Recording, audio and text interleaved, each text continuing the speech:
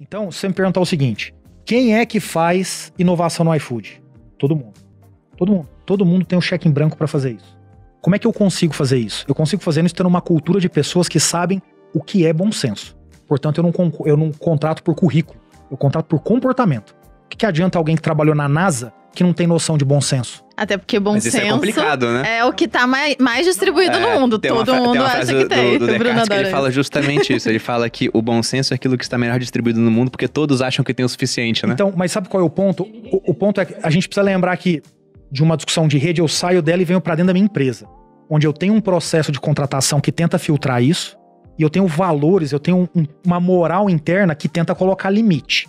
Então, para mim, o que que é o bom senso do teste? É, por exemplo, você não tem que me pedir para testar, mas você tem que saber que testar significa pequeno por pouco tempo.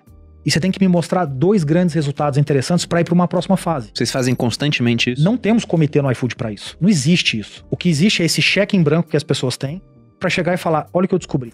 Então, é uma cultura que permite as pessoas terem, exercitarem o bom senso. Pô, Diego, tem gente que não tem. É, você dá o feedback ou demite. E aí eu acho que tem um grande ponto aqui, Bruno, que é a gente se acostumou no Brasil a ter boas empresas por pesso- porque as pessoas têm bons currículos. Desculpa a expressão, caguei pra quem tem um bom currículo. Sabe por quê? Quem tem bom currículo no Brasil é o homem branco heterossexual nascido na região sul-sudeste. Quem estuda no Brasil, um terço da população gradua. Desse um terço, 80% gradua em faculdades que talvez não pudessem nem ter uma licença para ter uma faculdade, dada a qualidade do ensino. E você vai me dizer então que você tá montando um bom time com essa meia dúzia de pessoas que conseguem chegar naquele lugar por causa dessas condições? Então, o que eu quero é evidente. Se eu preciso de um contador, eu preciso de alguém que entenda de contabilidade. Mas o analista contábil que entra no primeiro ano, eu não preciso desse cara necessariamente formado na USP. Não preciso. Então, eu, eu, ao longo desses 10 anos de existência do iFood, a gente foi criando uma Já tem cultura... 10 anos? 10 anos. Caramba. De pessoas que têm bom senso.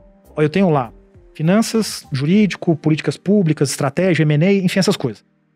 Sabe quantos comitês eu tenho para aprovar as coisas ou fechar as coisas no mês com, com- com os meus times? São 350 pessoas nos meus times.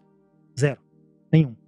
Você não tem nenhum, Diego? Não. É muito descentralizado. Bom senso. É o seguinte, Bruno, você fechou o mês, você precisa ter uma boa discussão, você precisa externar alguma coisa, me liga. Não preciso de uma reunião que todo mundo senta, fica lá pleasing, o cara que é hierarquicamente o mais forte, passando 736 slides de PowerPoint, que é idêntico do mês passado, atualizado por 30 dias. Você tem alguma coisa importante, Malu? Me liga. Conversa comigo. Quer minha opinião? Tá num dilema? Deixa eu te ajudar a resolver o dilema. Não precisa ficar prestando conta. Então, com isso, você vai criando a cultura do bom senso. Porque se a Malu não tem um lugar seguro para ela prestar conta e saber se tá certo ou errada, quer dizer que eu tô exigindo dela todo dia se perguntar isso.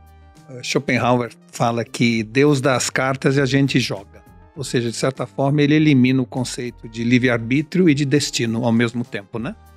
Então, Deus dá as cartas e você joga. Você às vezes sai com uma mão boa, porque você nasceu num berço de ouro, teve condições de estudar, às vezes sai com uma mão ruim, né? Só que tem gente que, ao sair com uma mão ruim, é capaz de ganhar o jogo. E tem gente que sai uma mão ótima é capaz de sujar a canastra limpa, entendeu? Jogando um coringa em cima de uma canastra limpa. É desta lógica que dá a nós a seguinte sensação. É verdade, existe desigualdade no início. Tem gente que já sai 100 metros à frente do que outras. Mas isso não significa o fim do jogo. Isso significa que dependendo da forma como a mesa vai montando, vai encaixando a carta que falta ou não para você. Você tem que estar atento para a mesa, atento para suas cartas, atento para o olhar do adversário, porque nunca esse jogo está perdido de início. Sempre você tem essa chance.